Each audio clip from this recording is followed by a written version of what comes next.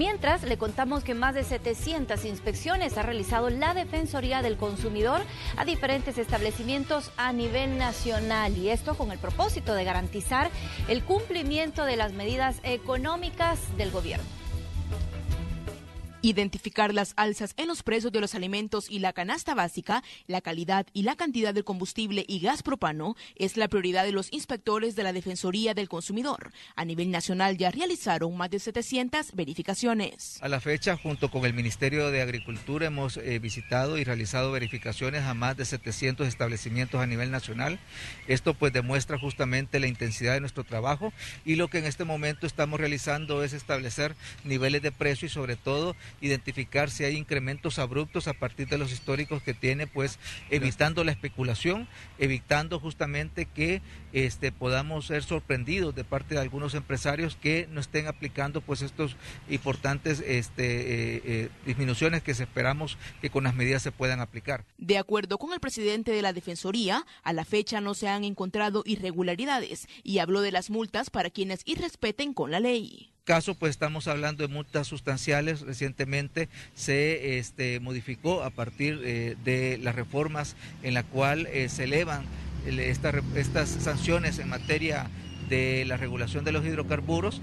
Estas pueden ir entre los 10 mil hasta los 100 mil dólares, son montas bastante importantes. Estos controles serán intensificados a nivel nacional, luego de la aprobación de la exoneración de dos impuestos al combustible, que a partir de este lunes deberá costar 28 centavos menos. Ya el presidente de la República lo ha anunciado, son alrededor de 28 centavos de dólar menos, ¿verdad?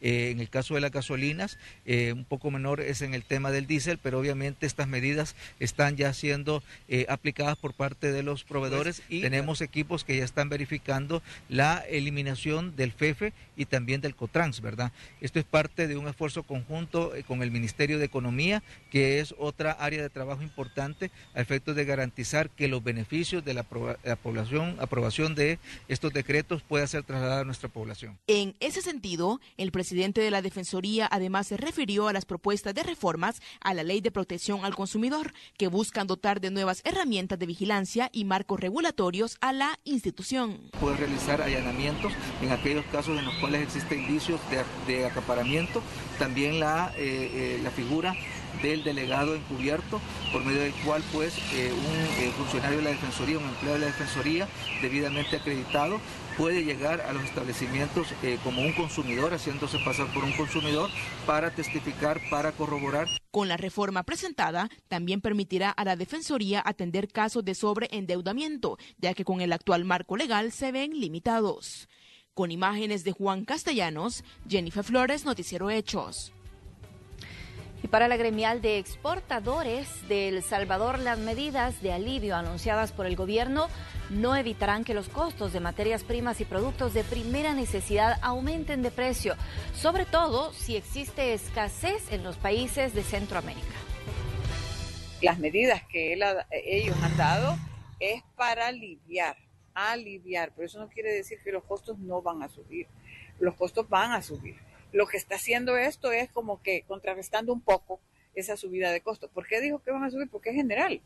Así calificó Silvia Cuellar, directora ejecutiva de Coexport, las medidas de alivio económico anunciadas por el gobierno y detalló que el país podría verse principalmente afectado con la escasez de materias primas por tener una condición importadora y no productora. Las materias, la materia primas, las materias básicas, porque eh, cada país debe de hacer lo que tiene.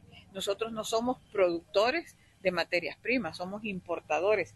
Señaló que es necesario prever que Centroamérica podría tener escasez de productos y materias primas, por lo que se vuelve necesario buscar alternativas de países que puedan distribuir a El Salvador ante tales escenarios.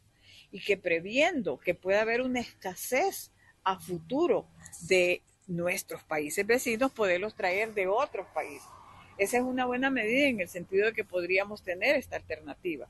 Ahora bien, eso no significa que es económico, es más caro porque los, lo vas a estar trayendo no de Honduras o de Nicaragua o de Guatemala, sino que lo vas a tener que traer de terceros países.